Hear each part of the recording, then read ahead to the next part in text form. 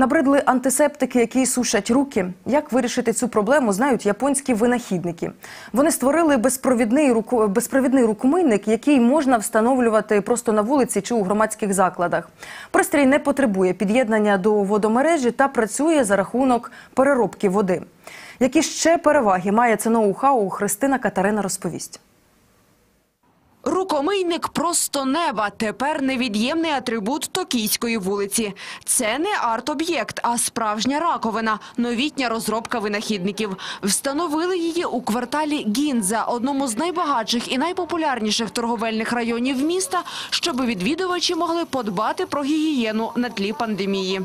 Ми не хочемо провокувати скупчення людей, але прагнемо показати, що Гінза – безпечне місце. Тож мета цього проєкту – якомога частіше нагадувати людям про чистоту та правила гігієни. Мийка безконтактна. Кран і дозатор мила працюють за рахунок датчиків руху. А головне – екологічна. Не підключається до водопроводу. Натомість працює за рахунок переробки води.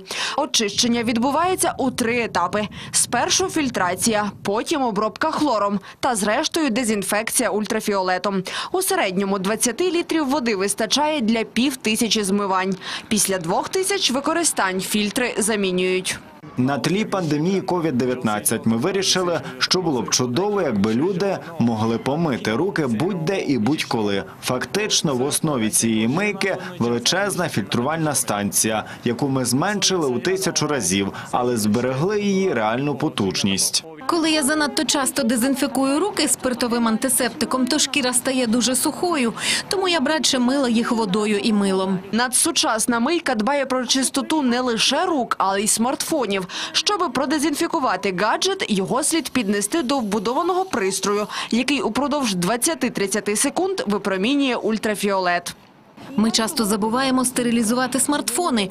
Я користуюся ним весь час, але ніколи не задумувалася, що замало його дезінфікую. Добре, що ця машина нагадує мені про те, що смартфони завжди потрібно тримати у чистоті. Поки що безпровідні рукомийники можна побачити лише у японських містах. Таких виготовили вже 4 тисячі. Втім, наступного року новинка з'явиться і за кордоном. Найбільше замовлень винахідникам надійшло зі Сполучених Штатів. Христина Катерина, п'ятий канал.